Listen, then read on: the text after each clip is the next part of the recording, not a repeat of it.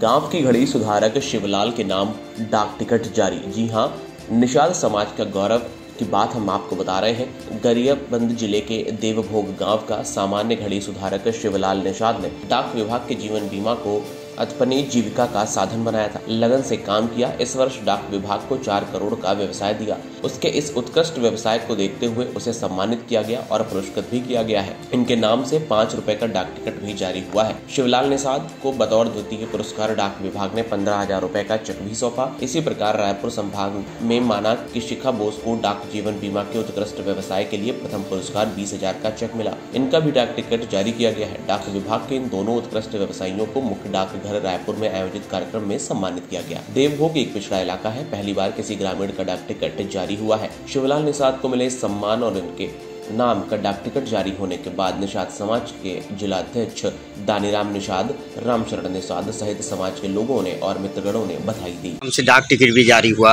आपको डाक विभाग से इनाम भी मिला। कैसे आप अनुभूति कर रहे हैं? मुझे बहुत खुशी और गर्व महसूस हो रहा है। और भी मतलब कार्य करने की इच्छा मन में जागृति उत्पन्न हो रही है। और भी मैं चाहता हूँ कि और अच्छी तरह से काम करें। कितने का इनाम मिला? पंद्रह हज़ार।